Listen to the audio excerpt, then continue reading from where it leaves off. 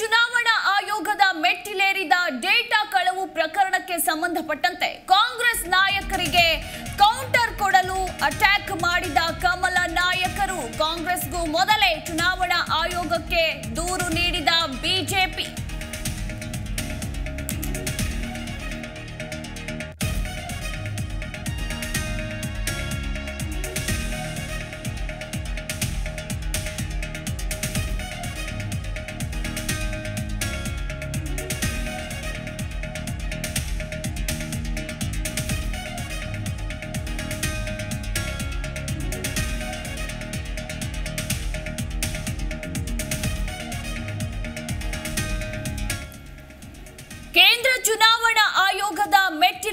Data ಕಳವು ಪ್ರಕರಣಕ್ಕೆ ಸಂಬಂಧಪಟ್ಟಂತೆ ಕಾಂಗ್ರೆಸ್ ನಾಯಕರಿಗೆ ಕೌಂಟರ್ ಅಟ್ಯಾಕ್ ಮಾಡಿದ ಕಮಲ ನಾಯಕರು.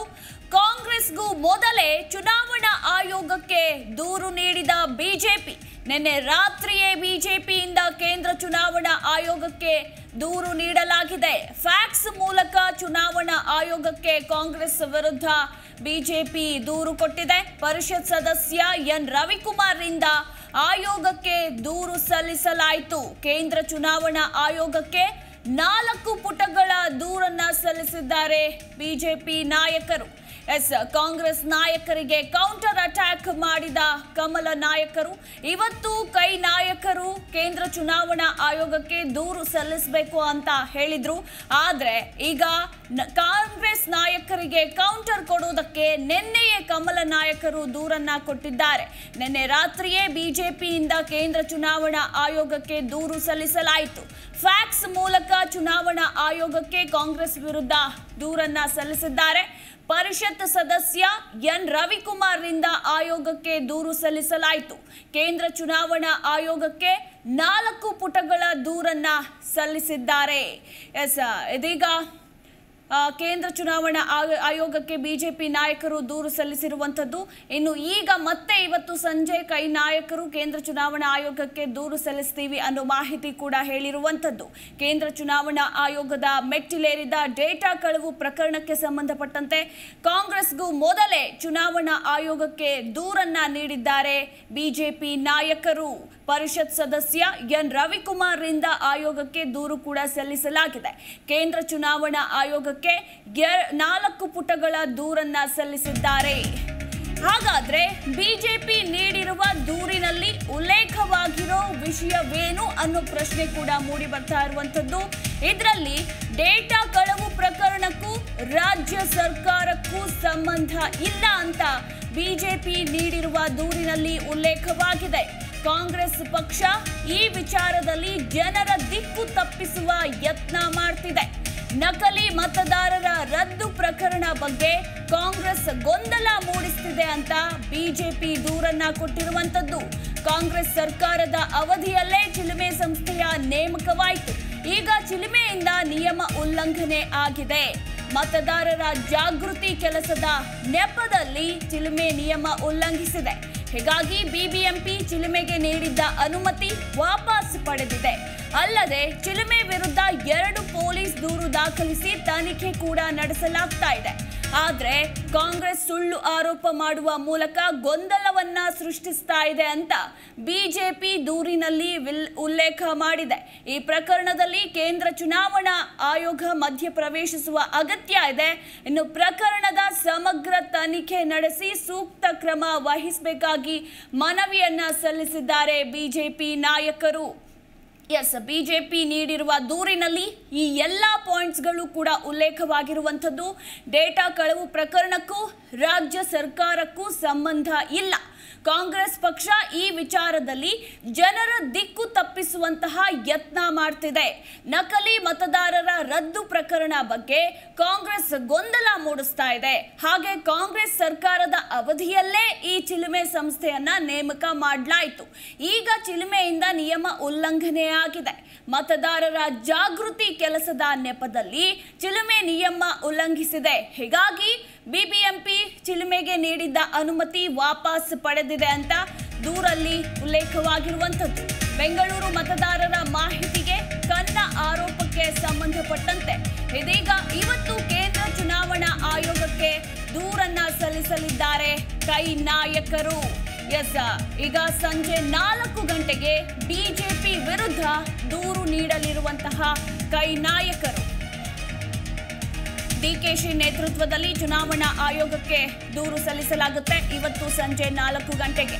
ಇವತ್ತು ದೂರು ಕೊಡಲಿರುವ ಕಾಂಗ್ರೆಸ್ ನಾಯಕರು ಬೆಂಗಳೂರು ಮತದಾರರ ಮಾಹಿತಿಗೆ ಕನ್ನ ಆರೋಪಕ್ಕೆ ಸಂಬಂಧಪಟ್ಟಂತೆ ಇವತ್ತು ಕೇಂದ್ರ ಚುನಾವಣಾ ಆಯೋಗಕ್ಕೆ ಸಂಜೆ ನಾಲ್ಕು ಗಂಟೆಗೆ ಬಿಜೆಪಿ ವಿರುದ್ಧ ದೂರನ್ನ ಕೊಡಲಿದ್ದಾರೆ ಕಾಂಗ್ರೆಸ್ ನಾಯಕರು. ಡಿಕೆಶಿ ಕೆಪಿಸಿಸಿ ಅಧ್ಯಕ್ಷ, ಡಿಕೆಶಿ ನೇತೃತ್ವದಲ್ಲಿ ಚುನಾವಣಾ ಆಯೋಗಕ್ಕೆ ದೂರನ್ನ ಕೊಡಲಿದ್ದಾರೆ. ಕಾಂಗ್ರೆಸ್ ನಾಯಕರು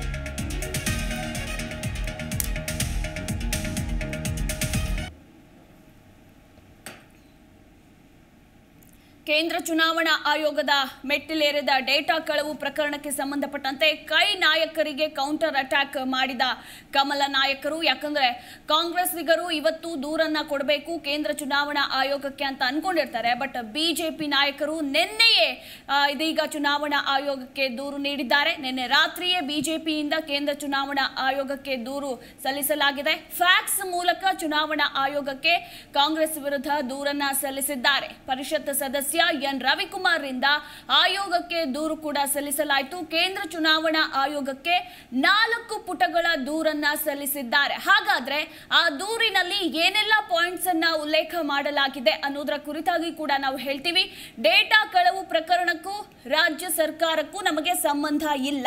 ಕಾಂಗ್ರೆಸ್ ಪಕ್ಷ ಈ ವಿಚಾರದಲ್ಲಿ ಜನರ ದಿಕ್ಕನ್ನ ತಪ್ಪಿಸುವ ಯತ್ನ ಮಾಡ್ತಿದೆ. ನಕಲಿ ಮತದಾರರ ರದ್ದು ಪ್ರಕರಣ ಬಗ್ಗೆ ಕಾಂಗ್ರೆಸ್ ಗೊಂದಲ ಮೂಡಿಸ್ತಾ ಇದೆ. ಕಾಂಗ್ರೆಸ್ ಸರ್ಕಾರದ ಅವಧಿಯಲ್ಲೇ ಚಿಲುಮೆ ಸಂಸ್ಥೆಯ ನೇಮಕ ಆಯಿತು. ಈಗ ಚಿಲುಮೆಯಿಂದ ನಿಯಮ ಉಲ್ಲಂಘನೆ ಆಗಿದೆ ಮತದಾರರ ಜಾಗೃತಿ ಕೆಲಸದ ನೆಪದಲ್ಲಿ ಚಿಲುಮೆ ನಿಯಮ ಉಲ್ಲಂಘಿಸಿದೆ. ಹೀಗಾಗಿ ಈ ಪ್ರಕರಣದ ಸಮಗ್ರ ತನಿಖೆ ನಡೆಸಿ ಸೂಕ್ತ ಕ್ರಮ ವಹಿಸಬೇಕಾಗಿ ಮನವಿ ಮಾಡಿಕೊಳ್ಳಲಾಗಿದೆ. ಇದೀಗ ಬಿಜೆಪಿ ನೀಡಿರುವ ದೂರಿನಲ್ಲಿ. ಎಸ್ ಈ ಬಗ್ಗೆ ಮತ್ತಷ್ಟು ಡೀಟೇಲ್ಸ್ ಕೊಡಲಿದ್ದಾರೆ ನಮ್ಮ ಪ್ರತಿನಿಧಿ ರಾಜಪ್ಪ. ರಾಜಪ್ಪ, ಕಾಂಗ್ರೆಸ್ ನಾಯಕರಿಗೆ ಕೌಂಟರ್ ಅಟ್ಯಾಕ್ ಕೊಟ್ಟಿದ್ದಾರೆ ಕಮಲ ನಾಯಕರು. ಯಾಕಂದ್ರೆ ಇವತ್ತು ಕೈ ನಾಯಕರು ಕೇಂದ್ರ ಚುನಾವಣಾ ಆಯೋಗಕ್ಕೆ ದೂರು ಸಲ್ಲಿಸಬೇಕು ಅನ್ಕೊಂಡಿರ್ತಾರೆ. ಬಟ್ ನಿನ್ನೆಯೇ ಬಿಜೆಪಿ ನಾಯಕರು ದೂರನ್ನ ಸಲ್ಲಿಸಿದ್ದಾರೆ. ಈ ಬಗ್ಗೆ ಮತ್ತಷ್ಟು ಡೀಟೇಲ್ಸ್. ಮಧುಮಾಲ ಇದೊಂಥರ ಬಿಜೆಪಿ ಅವರ ಸರ್ಕಾರದ ಒಂದು ಹೈಡ್ರಾಮಾ ಅಂತ ಹೇಳೋದು ತಪ್ಪಾಗೋದಿಲ್ಲ. ಅಲ್ಲಿ ಕಡೆ ಒಂದು ಗಾಳಿ ಹೇಳ್ತಾರೆ ಕುಂಬಳಕಾಯಿ ಕಳ್ಳನ್ನು ಹೆಗಲ್ ಮುಟ್ಟು ನೋಡ್ಕೊಂಡ ಅನ್ನೋ ರೀತಿ ಬಿಜೆಪಿಯ ಬಿಜೆಪಿಯ ಸರ್ಕಾರ ಮತ್ತು ಶಾಸಕರು ಆಡ್ತಾ ಇದ್ದಾರೆ. ಯಾಕಂದ್ರೆ ಇಡೀ ಒಂದು ಪ್ರಕರಣ ಬೆಳಕಿಗೆ ಬಂದಿದ್ದು ಮತ್ತು ಆ ಪ್ರಕರಣದಲ್ಲಿ ಬಂದಿರುವಂತ ಬೇರೆ ಬೇರೆ ಆರೋಪ ಆರೋಪ ಏನಿದೆ. ಆರೋಪಕ್ಕೆ ಸರ್ಕಾರ ಉತ್ತರ ಕೊಡುವಂತ ಅಗತ್ಯತೆ ಏನಿತ್ತು, ಅದು ಮುಖ್ಯಮಂತ್ರಿಗಳು ಬಸವರಾಜ ಬೊಮ್ಮಾಯಿಯವರು ಉತ್ತರವನ್ನ ಕೊಟ್ಟಿದ್ದಾರೆ. ಆದ್ರೆ ಮತ್ತು ಈಗಾಗಲೇ ಚುನಾವಣಾ ಆಯೋಗ ಈ ಬಗ್ಗೆ ತನಿಖೆಯನ್ನು ಸಹ ಆರಂಭಿಸಿದೆ. ನಿನ್ನೆ ಕೆಲ ಹಿರಿಯ ಅಧಿಕಾರಿಗಳು ಬೆಂಗಳೂರಿಗೆ ಬಂದು ಪೊಲೀಸ್ ಕಮಿಷನ್ ಇರ್ಬೋದು ಮತ್ತು ಚುನಾವಣಾ ಮುಖ್ಯ ನಿರ್ವಹಣಾಧಿಕಾರಿಯನ್ನು ಸಹ ಭೇಟಿ ಮಾಡಿ ಮಾಹಿತಿಯನ್ನು ಪಡೆದುಕೊಂಡು ಹೋಗಿದ್ದಾರೆ. ಆದ್ರೆ ಈ ನಡುವೆ ಕಾಂಗ್ರೆಸ್ನವರೇನು ಇಂದು ದೆಹಲಿನ, ದೆಹಲಿ, ದೆಹಲಿಯ ಕೇಂದ್ರ ಚುನಾವಣಾ ಆಯೋಗದ ಮುಂದೆ ಪ್ರತಿಭಟನೆ ನಡೆಸಿ ನಂತರ ಅವರು ಚುನಾವಣಾ ಆಯೋಗಕ್ಕೆ ದೂರನ್ನು ಕೊಡಬೇಕು ಅಂತ ತೀರ್ಮಾನ ಮಾಡಿದ್ದಾರೆ. ಆ ನಡುವೆ ಬಿಜೆಪಿಯ ಪ್ರಧಾನ ಕಾರ್ಯದರ್ಶಿ ಮತ್ತು ವಿಧಾನ ಪರಿಷತ್ ಸದಸ್ಯರಾದ ರವಿ ಅವರು, ರವಿಕುಮಾರ್ ಅವರು ಪತ್ರವನ್ನು ಬರೆದು, ಹಿಂದೆ ಎರಡ್ ಸಾವಿರದ ಹದಿಮೂರರಿಂದಲೂ ಈ ಒಂದು ಏನು ಚಿಲುಮೆ ಸಂಸ್ಥೆಗೆ ಸಿದ್ದರಾಮಯ್ಯ ಸರ್ಕಾರದ ಆವಿನಲ್ಲಿ ಈ ಒಂದು ಪರ್ಮಿಷನ್ ಕೊಡಲಾಗಿತ್ತು. ಅಲ್ಲಿಂದಲೇ ಇದೊಂದು ಚುನಾವಣಾ ಅಕ್ರಮಕ್ಕೆ ಅವಕಾಶ ಆಗಿದೆ. ಹೀಗಾಗಿ ಈ ಒಂದು ಪ್ರಕರಣವನ್ನು ಸಮಗ್ರ ತನಿಖೆ ನಡೆಸಿ ಕಾಂಗ್ರೆಸ್ ವಿರುದ್ಧ ಕ್ರಮ ಕೈಗೊಳ್ಳಿ ಅಂತ ಸಂದೇಶವನ್ನು ಕೊಡುವಂತ ಕೆಲಸ ಮಾಡಿದ್ದಾರೆ. ಇಲ್ಲಿ ಬಿಜೆಪಿ ಸರ್ಕಾರ ಒಂದು ಕಡೆ ಸಿನಿಮಾ ಸಂಸ್ಥೆಯ ಪರವಾಗಿ ಕೆಲಸ ಮಾಡ್ತಿದಾರ ಮಾಡ್ತಿದಾರ ಅಂತಂದು ಮೇಲ್ನೋಟಕ್ಕೆ, ಅನುಮಾನಕ್ಕೆ ಕಾರಣ ಮಾಡ್ತಾರೆ ಯಾಕಂದ್ರೆ ಸಿನಿಮಾ ಸಂಸ್ಥೆ ಮಾಡುವಂತಹ ಅಕ್ರಮವನ್ನ ಬಿಜೆಪಿ ಸರ್ಕಾರ ಮುಚ್ಚಿ ಕಾಂಗ್ರೆಸ್ ಅವಧಿನಲ್ಲೂ ಸಹ ಈ ರೀತಿ ನಡೆದಿತ್ತು ಅನ್ನೋ ಮೂಲಕ ಇಡೀ ಒಂದು ಪ್ರಕರಣ ದಿಕ್ಕು ತಪ್ಪಿಸುವಂತ ಒಂದು ಕೆಲಸವನ್ನ ಈಗ ಬಿಜೆಪಿ ಸರ್ಕಾರ ಮಾಡ್ತಾ ಇದ್ದಾರೆ. ಈಗ ಕಾಂಗ್ರೆಸ್ ನಾಯಕರು ಕೊಟ್ಟಂತ ದೂರನ್ನ ಆಧರಿಸಿ ಕೇಂದ್ರ ಚುನಾವಣಾ ಆಯೋಗ ತನಿಖೆ ನಡೆಸಲಿಕ್ಕೆ ಆರಂಭ ಮಾಡಿದೆ. ಮುಖ್ಯಮಂತ್ರಿಗಳು ಸಹ ಪರ್ಯಾಯವಾಗಿ ತನಿಖೆಯನ್ನ ನಡೆಸಲಿಕ್ಕೆ ಅವರು ಮುಂದಾಗಿದ್ರು. ಆದ್ರೆ ಚುನಾವಣಾ ಆಯೋಗಕ್ಕೆ ನಿರ್ಬಂಧವನ್ನು ವಿಧಿಸಿದೆ. ಮತ್ತು ಈಗಾಗಲೇ ಪ್ರಕರಣ ಸಂಬಂಧಪಟ್ಟಂತೆ ಒಟ್ಟು ಎಂಟು ಜನರನ್ನ ಬಂಧಿಸಲಾಗಿದೆ. ಆ ಒಂದು ಚಿಲ್ಮೆ ಸಂಸ್ಥೆ ವ್ಯವಸ್ಥಾಪಕ ನಿರ್ದೇಶಕರು, ಮ್ಯಾನೇಜಿಂಗ್ ಡೈರೆಕ್ಟರ್ ಮತ್ತು ಸಿಇಒ ಇರ್ಬೋದು ಮತ್ತು ಆಡಳಿತಾಧಿಕಾರಿಗಳು ಸಹ ಈಗಾಗಲೇ ಪೊಲೀಸರು ಬಂಧಿಸಿ ಹಲವಾರು ವಿಚಾರಗಳನ್ನ ಹೊರತಂದಿದ್ದಾರೆ. ಈ ನಡುವೆ ರಾಜ್ಯ ಸರ್ಕಾರ ಇನ್ನು ಕಾಂಗ್ರೆಸ್ನವರು ನಾಳೆ ಇಂದು ದೆಹಲಿಗೆ ತೆರಳಿದ್ದಾರೆ ಆ ಒಂದು ತೆರಳಿ ದೂರನ್ನ ಸಲ್ಲಿಸುವ ಮೂಲಕ ಬಿಜೆಪಿಗೆ ಸಂಕಷ್ಟ ಉಂಟಾಗತ್ತೆ ಅನ್ನೋ ಕಾರಣಕ್ಕೋಸ್ಕರ ಬಿಜೆ, ಕಾಂಗ್ರೆಸ್ನವರು ತೆರಳಿ ದೂರನ್ನ ಸಲ್ಲಿಸಲು, ಸಲ್ಲಿಸಿದ್ದೆ ಆದಲ್ಲಿ ಬಿಜೆಪಿಗೆ ಇದು ದೊಡ್ಡ ಹಿನ್ನಡೆ ಆಗತ್ತೆ ಅನ್ನೋ ಕಾರಣಕ್ಕೋಸ್ಕರ ದೂರನ್ನ ಲಿಖಿತವಾಗಿ ಅಲ್ಲದೇ ಇವರು ಫ್ಯಾಕ್ಟ್ ಮೂಲಕ ದೆಹಲಿಯ ಕೇಂದ್ರ ಚುನಾವಣಾ ಮುಖ್ಯ ಆಯುಕ್ತರಿಗೆ ದೂರನ್ನ ಸಲ್ಲಿಸಿದ್ದಾರೆ. ಆದ್ರೆ ಅದನ್ನು ಯಾವ ತರ ಪರಿಗಣನೆ ಮಾಡ್ತಾರೆ ನಿಜವಾಗ್ಲೂ ಇದಕ್ಕೆ ಒಂದು ಒಂದು ಒಂದು ಫಾರ್ಮಾಲಿಟೀಸ್ ಇರುತ್ತೆ. ಆ ಫಾರ್ಮಾಲಿಟೀಸ್ ಪ್ರಕಾರ ಬಿಜೆಪಿ ನಾಯಕರು ಕೇಂದ್ರ ಚುನಾವಣಾ ಆಯೋಗಕ್ಕೆ ದೂರನ್ನ ಕೊಟ್ಟಿಲ್ಲ. ಅದ್ರ ಬದಲಾಗಿ ಕೇವಲ ಒಂದು ಫ್ಯಾಕ್ಸ್ ಮೂಲಕ ಮೆಸೇಜ್ನ ಕೊಟ್ಟಂತ ಪ್ರಯತ್ನವನ್ನು ಮಾಡಿದ್ದಾರೆ. ಅದನ್ನ ಚುನಾವಣಾ ಆಯೋಗ ಯಾವ ತರ ಕನ್ಸಿಡರ್ ಮಾಡುತ್ತೆ ಮತ್ತು ಕಾಂಗ್ರೆಸ್ ಅರ್ಜಿಯನ್ನ ಯಾವ ತರ ಪರಿಶೀಲನೆ ಮಾಡುತ್ತೆ ಅಂತ ಅನ್ನೋದನ್ನ ಕಾದ್ ನೋಡ್ಬೇಕಾಗಿದೆ. ಎಸ್ ಥ್ಯಾಂಕ್ ಯು ರಾಜಪ್ಪ, ನಿಮ್ಮೆಲ್ಲ ಮಾಹಿತಿಗಾಗಿ.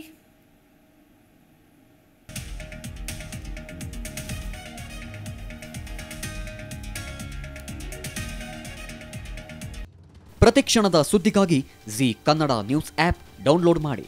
Live TV latest updates entertainment lifestyle technology ಸುದ್ದಿ ನಿಮ್ಮ ಅಂಗೈಯಲ್ಲಿ.